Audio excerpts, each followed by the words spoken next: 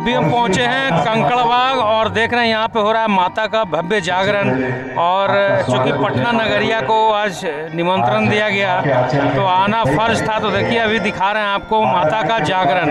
तो बने रहिए पटना नगरिया पर।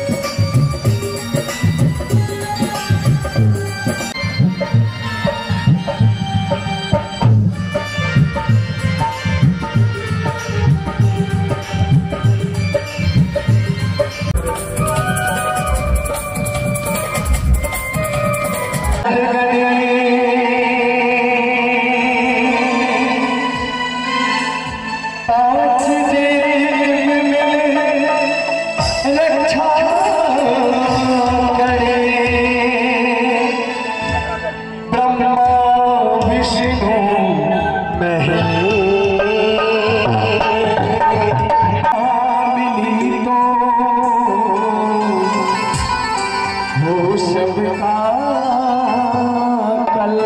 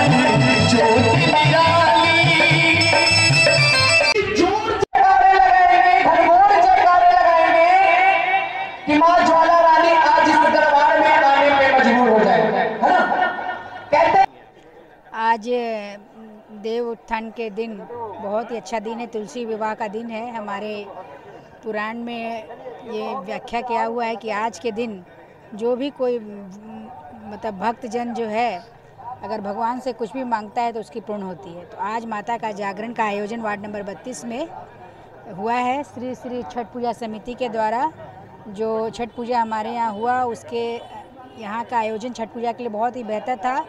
और सबसे बड़े आयोजक जन को मैं बहुत बहुत धन्यवाद दूँगी कि उन्होंने इतना अच्छा आयोजन किया था छठ पूजा में। सभी व्रतियों को बहुत ही लाभ मिला, वो लोग आसान से छठ घाट तक पहुँच सकी हैं।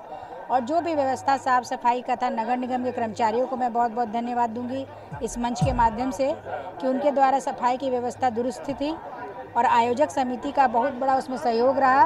और आज जो जागरण है तो सब भक्तजनों को इस जागरण की बहुत बहुत शुभकामना है। इस मंच के माध्यम से मैं ये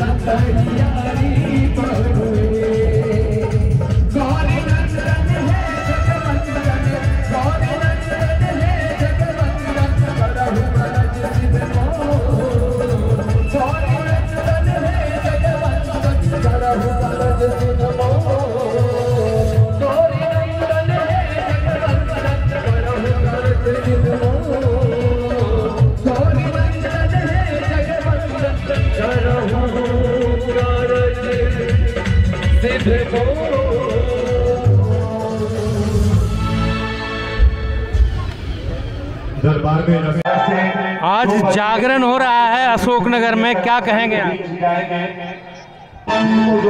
बहुत खुशी की बात है कि माता का भव जागरण दिनांक चार ग्यारह दो हज़ार बाईस को हमारे चौदह नंबर चौराहे पर हो रहा है।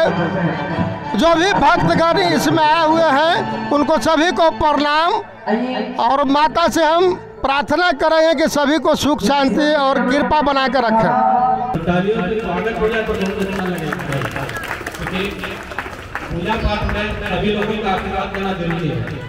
आगे हम पप्पू यादव जी जो जगतपुरा से उनको उनका नाम बोलना चाहते हैं सेवी हैं और हमारे बीच रहे हमेशा, इसलिए इनका स्वागत ज़रूरी है।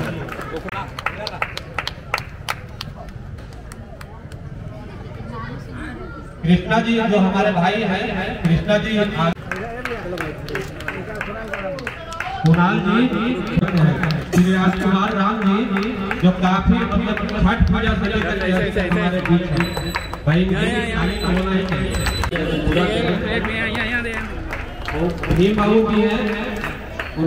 पटना नगरिया का एक साल पूरा होने वाला है। आपको बहुत बहुत शुभकामनाएँ। ऐसा ही कमाल का काम करते रहें और बिहार का नाम रोशन करते रहें। तो बने रहिए पटना नगरिया पे।